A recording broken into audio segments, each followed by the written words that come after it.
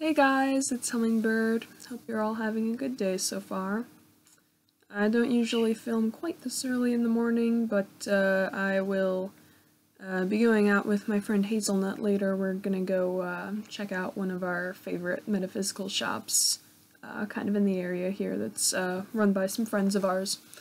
So, uh, yeah, I'll, I'll be out this afternoon. Anyway, um, I decided yesterday that I was uh, going to give something a try that, you know, I've seen uh, a couple different people talking about online, and that was um, doing a tarot spread for uh, the, the coming year 2016. Um, and just, you know, kind of, uh, you know, uh, drawing a card to see kind of like what each month is going to be like. Uh, and, you know, it started off, you know, going real well, and then right about April, it just kind of went, I was like, huh, well, that's not exactly what I would call awesome. so, um, I decided that I was going to make kind of a video about what my results were, um, because I'm I'm not a professional tarot reader by uh, any stretch of the imagination. I read it, uh, you know, occasionally. Um, I would do it more if I remembered too often. I just I just forget, and then you know months go by and I haven't done very much. Um, but anyway. Uh, so long story short, uh, I'm just gonna kind of go through what my results here were. Uh, I've got my, my handy dandy notebook here that I record all that kind of stuff in. Um, and hopefully you guys can either, you know, um, maybe give me a little bit more insight into my results, or maybe, um, if you happen to have an idea of something that I could do to kind of uh, improve the outlook or something. I have some ideas, but um, I just think that you know talking it out with uh, with you guys might be helpful. So, okay, um, for January, uh, I got the Knight of Cups, and basically I was just kind of kind of phrasing my question like you know. Um, what uh, what do I need to know about January of 2016? What is going to be like the the overarching theme for January? And so that that was kind of how I, I phrased it for each month, you know. And I shuffled my cards and pulled one. Um, and then after I'd done each month, I just I reshuffled that card back in so that I was working with the whole deck. Um, I never actually got any repeats, but I just wanted to make sure that I, I was working with the full deck as I was doing it. So, yeah.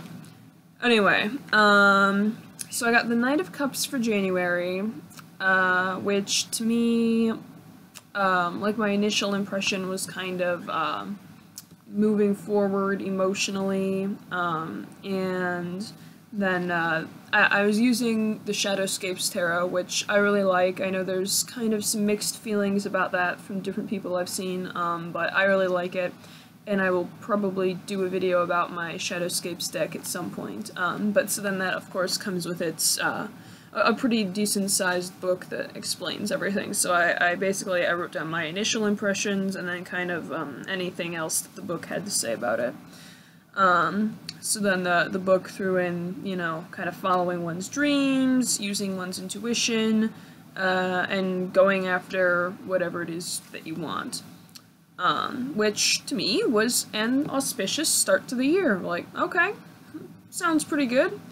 Uh, you know, a lot of the, the workings that I did last year were about letting go of uh, older emotional baggage, so I was like, okay, mm, you know, move, moving forward sounds like a step in the right direction.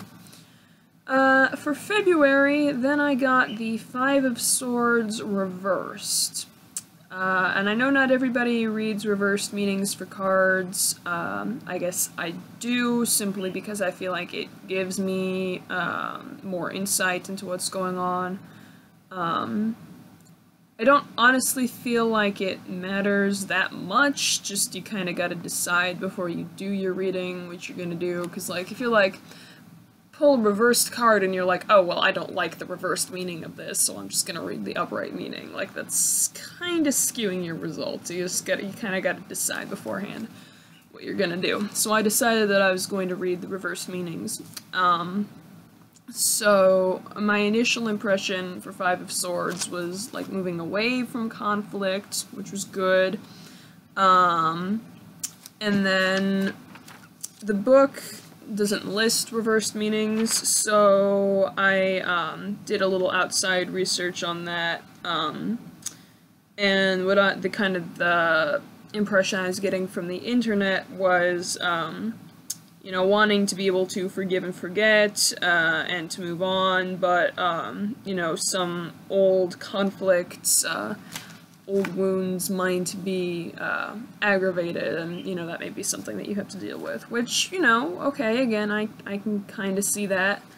Um, maybe not the most fun thing in the world, but but yeah, sure, you know, um, obviously anytime that you're doing shadow work or anything of that nature where you're dealing with hard stuff from your past, then yeah, sure, I, I can see, you know, that kind of coming up again and, you know, being a little um, tenuous for a while. Um, and then March was the Ace of Cups, which I was like, okay, that's pretty good too, you know? Um, Ace of Cups is kind of, you know, uh, fresh start a little bit, uh, some emotional clarity, you know, um, kind of a upspring of love, of compassion, like that's good. And you know, March is my birthday month, so that's great.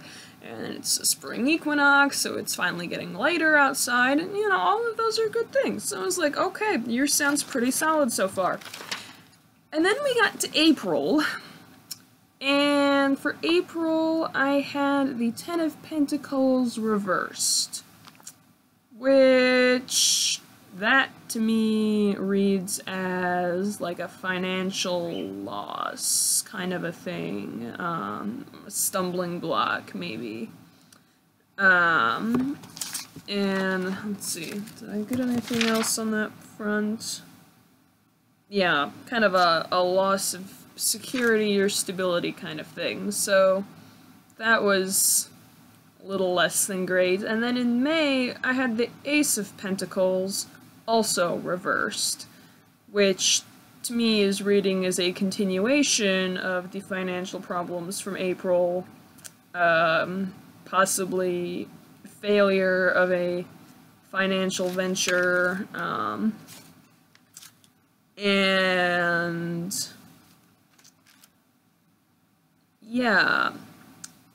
So that looks to me anyway like some money troubles starting starting in April, but uh, if you guys have any input there, I'd appreciate it. Um, June I got the Six of Cups, which was okay, you know, that's pretty decent. Um, something that that was suggesting to me was getting together with old friends, um, you know, simple joys of life, which, okay, cool, cool, you know, beginning of summer vacation, it's kind of chill. Um, and then we got to July, which was the Three of Wands reversed. Um, and that to me was suggesting maybe a journey that doesn't go how you're expecting it to, um, some kind of a, a leadership setback, um, and then online it was also saying um, not maybe you're disappointed in yourself for not meeting a goal, uh, especially like involving personal development.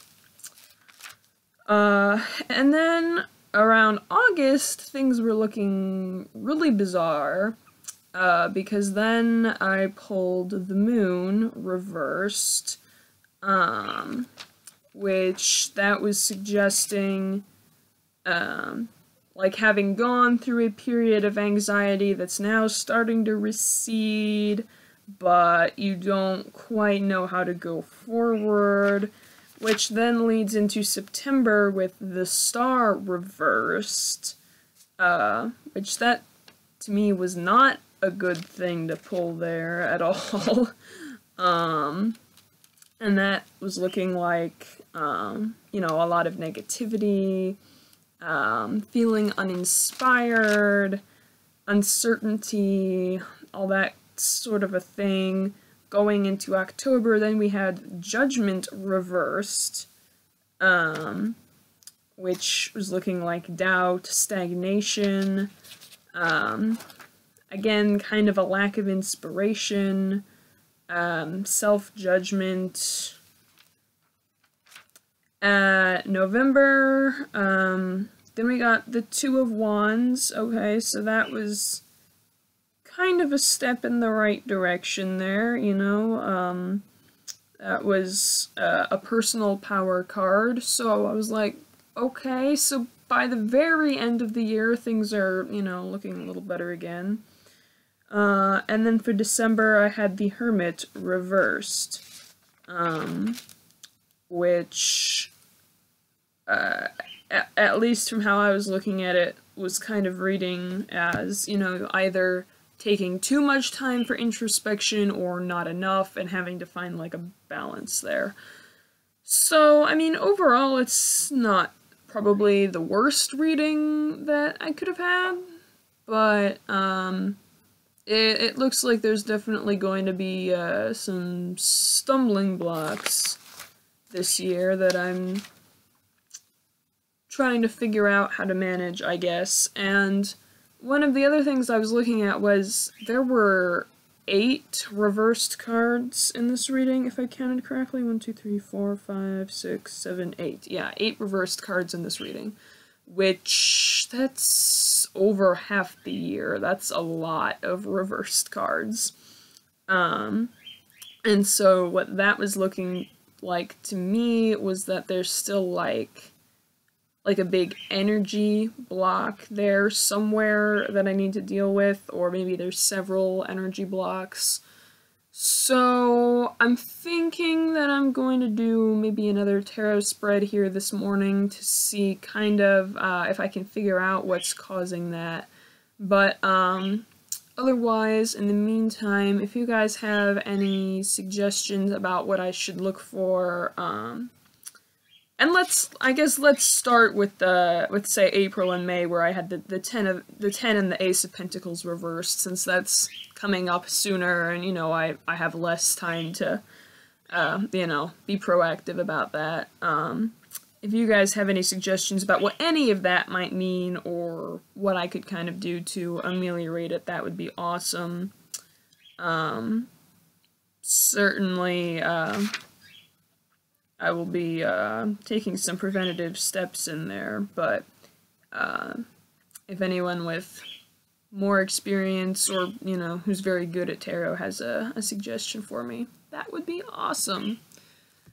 And I guess that's uh, kind of what I was going to say here. I guess I'm going to go do another tarot reading this morning, and I hope you guys are all having a good day.